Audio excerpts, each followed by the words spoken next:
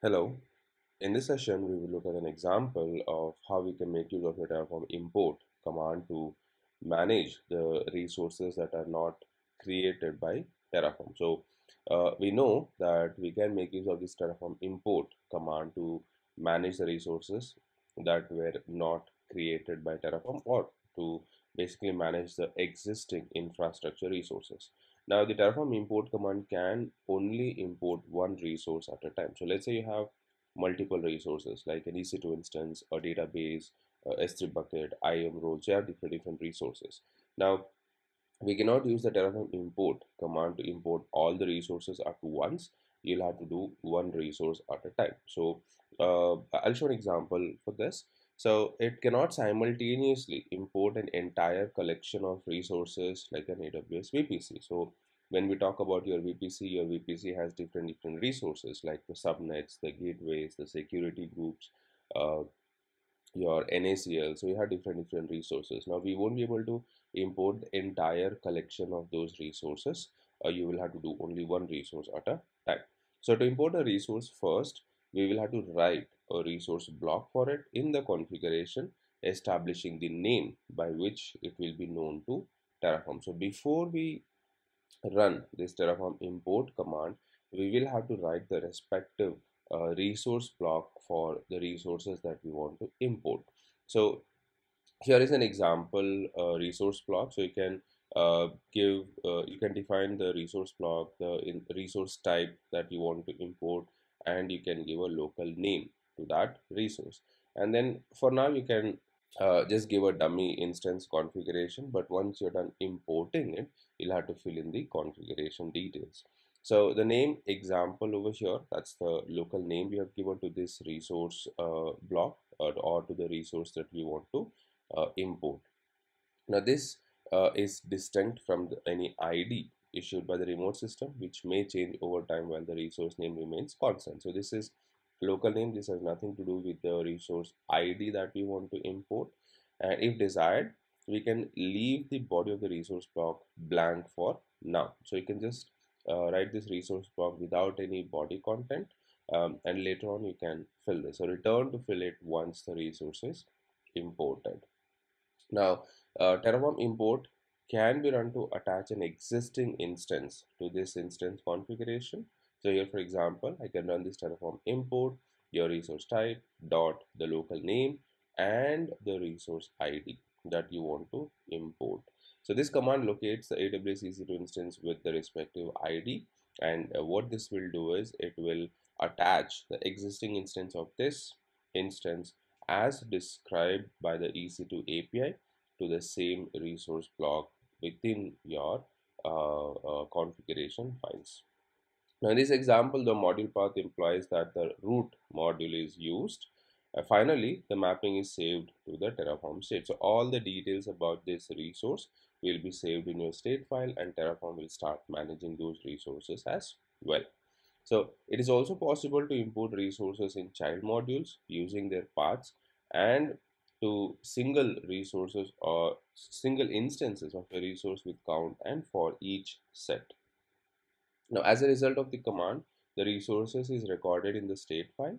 Uh, we can now run the Terraform plan to see how the configuration compares to the imported resource and make any adjustments to the configuration to align with the current or desired state of the imported object. So let's see an example for this. Now here, if you see, if you look at my console, I already have two EC2 instances. Now for the sake of understanding, I'm calling them as manual instance meaning I have manually launched these EC2 instances. Terraform has not launched these EC2 instances. Let's go back to the server. Now here I have the configuration files and uh, this configuration file we are making use of your modules. So we are using the module that we have in the S3 bucket and uh, this module will create four resources for us. So let's go, ahead and uh, apply this. So let's quickly initialize this which will download the module for us.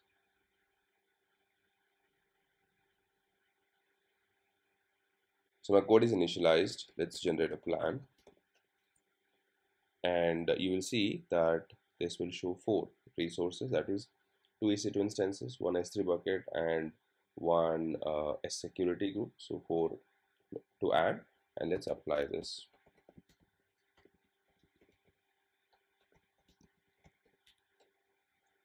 So this will start creating the resources for us. So now, as of now, this is going to manage four resources uh, which will be available within the state file. However, the new instances that I have, the instances that I have launched manually, Terraform will not be able to manage those resources. So now, what if I want Terraform to start managing those resources as well, meaning these two instances as well. So now if I refresh this, uh, you should be able to see so here you can see module example server module example server so this is coming from my uh, terraform all right? So here if you look at the tags you will see that uh, these tags uh, I have added from terraform. However these two instances uh, were manually launched. Now I want these two instances also to be managed by my terraform. So this is where we can make use of your import command. Now before we run the import command we will have to update the resource block. So we'll have to define the respective resource blocks for the resources that you want to import. Now in my case i have two resources that i want to import so i'll be defining two resource blocks for this. So let's quickly define this. So resource so my resource type would be aws instance and let's say we will call this as manual instance one. So just the local name so it's user defined so you can give whatever you want. So this becomes my local name and for now I'll just give uh, so this is where the instance configurations will be defined. For now I'm not defining anything over here. And then we will define one more resource block for the second instance. And let's give the new local name. So I have two resource block for two instances. Now what I can do is I can use the terraform import command. So here I'll say terraform import uh, let me quickly read this alright so I'll say terraform import and we'll have to give the resource information. So I want to use this resource type for the local name the resource ID so basically I'm telling that I want to map this resource with this particular resource block. So now here we'll take the uh, instance id so let me copy this and i'll keep over here. Now what this will do is this will use the ec2 api and it will gather all the information about this resource and it will store it in my state file so you can see here instance importing instance id import prepared and uh, refreshing state and now if you look at the state file you will see that I should be able to see a new EC2 instance. So let me go to the top and sure you will see manual instance 1 and here is the instance ID ending with FE17 that's FE17 right and likewise I want to manage the second instance. So again the same thing. Only difference you will see is a change in the uh, instance type. Sorry the instance id so let me rerun this command and let me change this. So this will be the second resource block.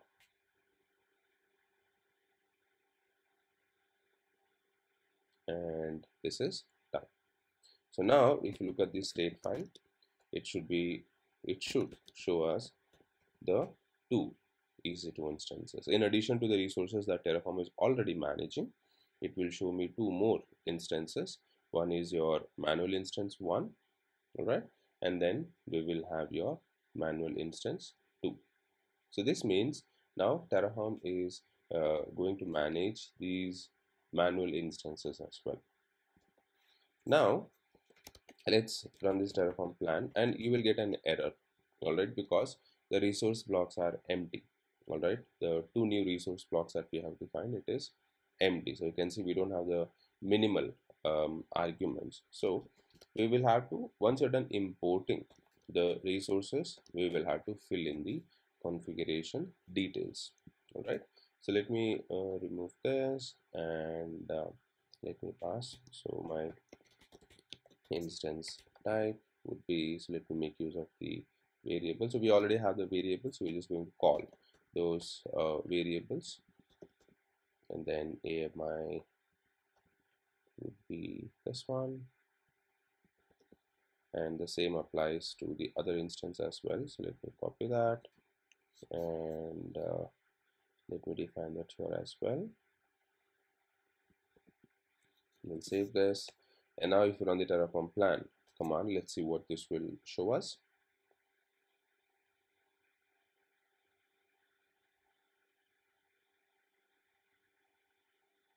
So you see here 2 to add 2 to destroy. Now let's see what this is changing why this is destroying it so this is because of the AMI all right so the AMI is changing.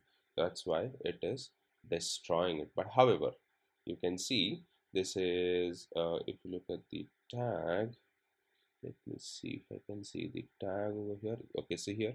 Manual instance. And uh, here is the other instance with the same tag manual instance.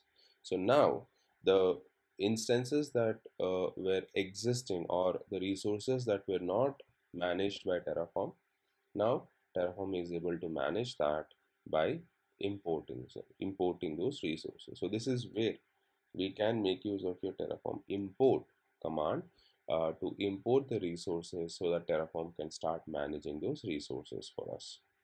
Now let's say if i want to destroy the resources all right so here uh, I have these instances that we launched manually right? Now Terraform is managing these resources as well.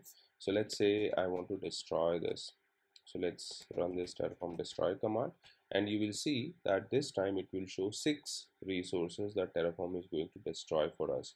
So in total four ec2 instances one um, s3 bucket and one security group. So you can see here six to destroy. So i have the module module instance uh, so that's a security group that's the s3 bucket and i should have four ec2 instances. So this is one this is 2 this is the manual instance that we had launched all right? So now terraform is managing the new resources as well all right? And now if i approve this terraform will go ahead and destroy the resources for us